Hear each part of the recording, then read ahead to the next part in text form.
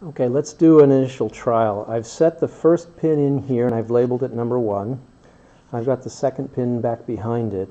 And so what we're going to do is line up, and I'll put this pencil here to show you the idea.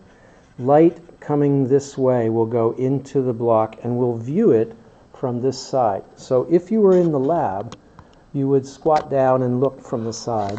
I've got another camera that I'm going to put right here to let give you that view. Let me turn it on. Okay, and you can see here's the pencil.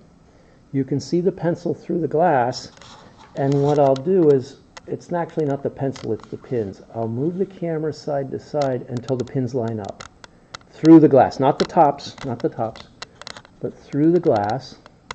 You can see they line up. The pen, let me take the pencil out, and that means that the light's coming through there. And then, that, uh, those are pins one and two. I'll take the third pin and I'll put it in. Can you see? I'll put it in. I'll, I'll go side to side until it's lined up with both of those pins and stick it into the paper.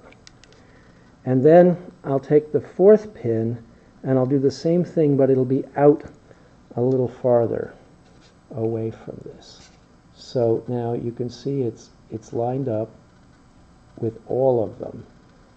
This one's closer. But now all four pins are lined up, and so from the top, it's, it's not surprising because the light comes in, goes across the glass, comes out, and lines up. I'll label this pin 3 and this pin 4. This will be our first run. And that's the idea, and then this gives us the light coming in and the light coming out.